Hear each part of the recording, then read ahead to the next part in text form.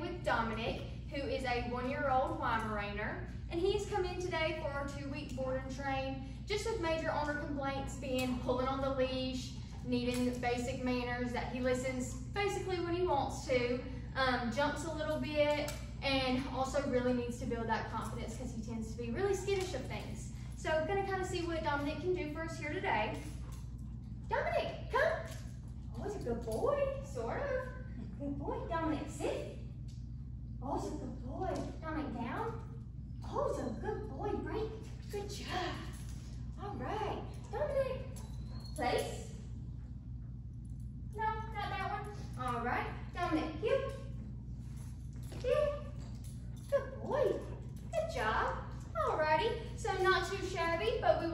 Definitely check back in and see how Dominic has progressed in the next two weeks.